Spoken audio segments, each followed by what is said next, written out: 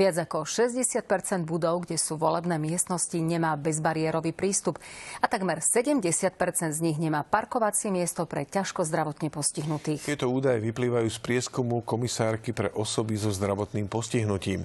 A čo je ešte horšie, situácia sa v tomto smere počas rokov nezlepšuje. Skôr naopak.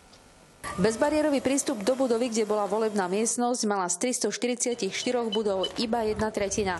A svoje o tom vie aj slovenský paralympijský reprezentant. Najazd na rampu v škole, kam chodí, voliť majú. Je strašne, strašne strmý. Ja chodím na elektrickom vozíku, tam jednoducho nedostanem. Mi pomáhali tí ľudia, ktorí stáli tam pri dverách Pripomeňme, že najčastejšie sa voľby konajú v budovách obecných úradov, kultúrnych stredísk, stredných či základných škôl. 64% budov základných škôl tento bezbariérový prístup zabezpečený nemalo. A v hodnotení bezbariérovosti neúspeli ani ďalšie budovy.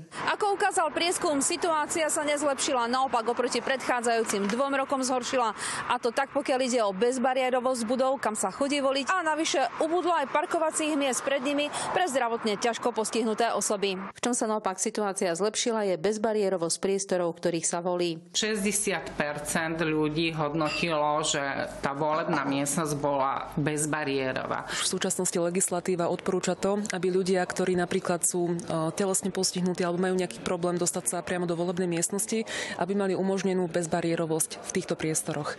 Faktom ale tiež je, že ministerstvo vnútra nemá priamy dosah na to, aké má možnosti napríklad starosta danej obce. Pani Bernardína je jedna z tých, tých, ktorá môže využívať tento bezbariérový prístup. Človek sa dostane, kde potrebuje. No. Obyvatelia Kisuckej dediny zborov nad Bystricou chodia voliť do miestneho kultúrneho domu.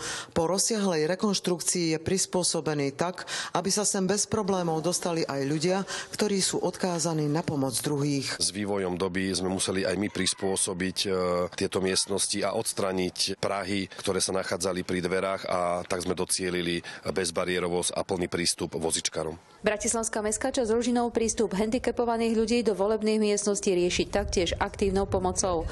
Obyčajne je to tak, že ten človek, ktorý má handicap, tak nepríde sám Čiže ten, ktorý ho sprevádza, nás buď osloví, alebo členovia volebnej komisie skontrolujú situáciu pred budovou, ako v prípade pani na vozíčku. My sme jej ponúkli aj možnosť, že pripravíme prenosnú volebnú urnu, čo ona odmietla napokon. Vstala z vozíka a prišla odvoliť priamo do volebnej miestnosti. Vynášanie urny pred budovou však komisárka pre osoby so zdravotným postihnutím kritizuje. Tajnosť hlasovania nemyslíme si, že je zabezpečená tým, že prídu členovia volebnej komisie komisie s prenosnou schránkou, s volebnými lístkami, ktoré ten daný človek vyplní na ulici, na chodníku. Iveta Marešová a Marika Dulajová, televízia Joj.